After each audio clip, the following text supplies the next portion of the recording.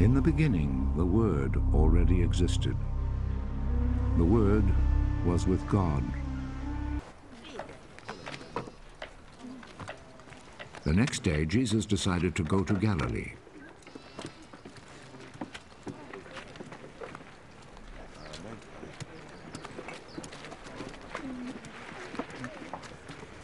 He found Philip.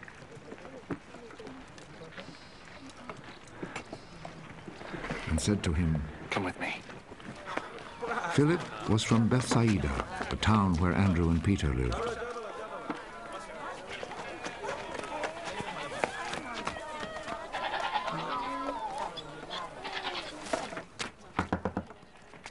Philip found Nathanael.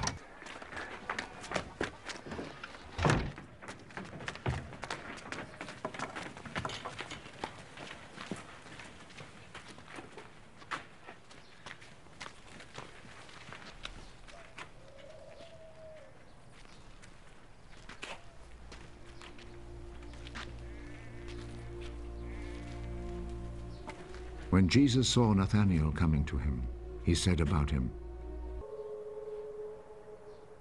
You are the Son of God. You are the King of Israel.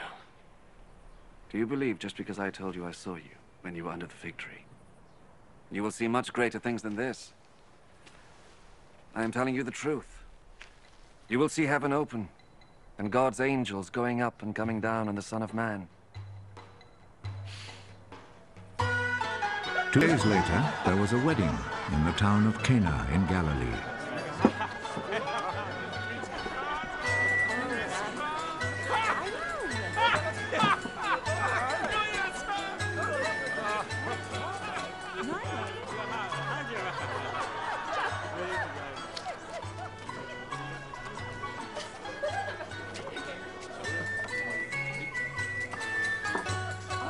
Jesus' mother was there. And Jesus and his disciples had also been invited to the wedding.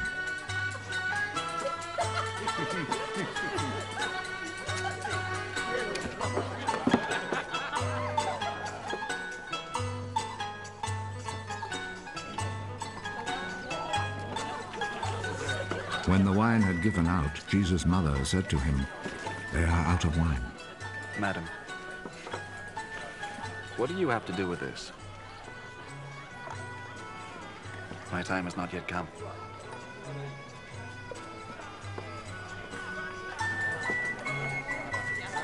Do whatever he tells you.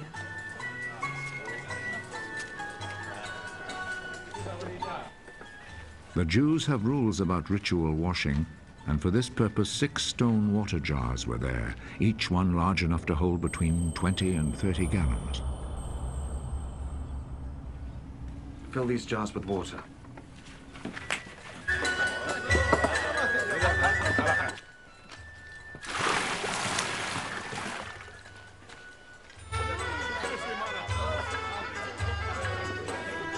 They filled them to the brim.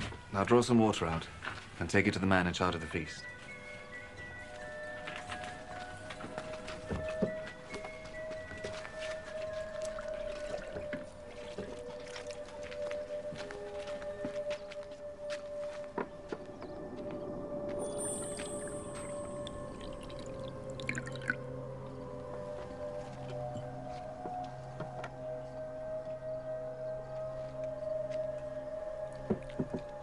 They took him the water, which now had turned into wine, and he tasted it. He did not know where this wine had come from, but of course the servants who had drawn out the water knew. So he called the bridegroom. Everyone else serves the best wine first, and after the guests have drunk a lot, he serves the ordinary wine. But you have kept the best wine until now.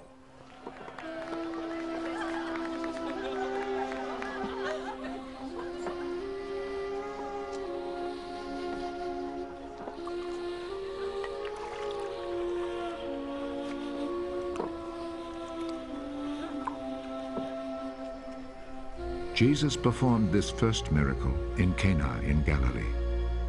There he revealed his glory, and his disciples believed in him.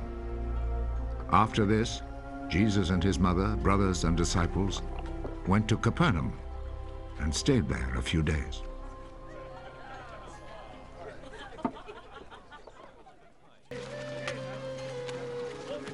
In Samaria, he came to a town named Sychar, which was not far from the field that Jacob had given to his son Joseph. Jacob's well was there, and Jesus, tired out by the trip, sat down by the well. It was about noon.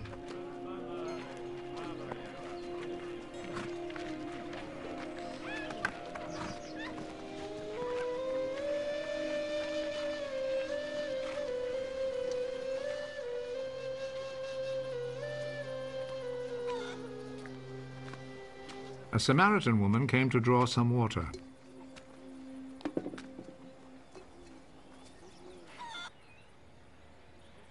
God is spirit. And only by the power of his spirit can people worship him as he really is. I know that the Messiah will come. And when he comes, he will tell us everything. I am he. I who am talking with you. At that moment, Jesus' disciples returned, and they were greatly surprised to find him talking with a woman. But none of them said to her, What do you want?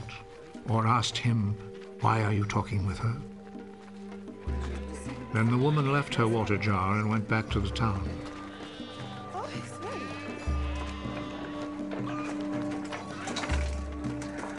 Come and see the man who told me everything I've ever done. Could he be the Messiah? So they left the town and went to Jesus. In the meantime, the disciples were begging Jesus, Teacher, have something to eat. But he answered, I have food to eat that you know nothing about. So the disciples started asking among themselves, Could somebody have brought him food? My food is to obey the will of the one who sent me, and to finish the work he gave me to do. You have a saying four more months and then the harvest. But I tell you, take a good look at the fields. The crops are now ripe and ready to be harvested. The one who reaps the harvest is being paid and gathers the crops for eternal life. So the one who plants and the one who reaps will be glad together. For the saying is true. Someone plants, someone else reaps. I have sent you to reap the harvest in a field where you did not work. Others worked there. And you profit from their work. Many of the Samaritans in that town believed in Jesus because the woman had said, He told me everything I have ever done. So when the Samaritans came to him, they begged him to stay with them, and Jesus stayed there two days. Many more believed because of his message, and they told the woman, We believe now, not because of what you said, but because we ourselves have heard him and we know that he really is the Savior of the world.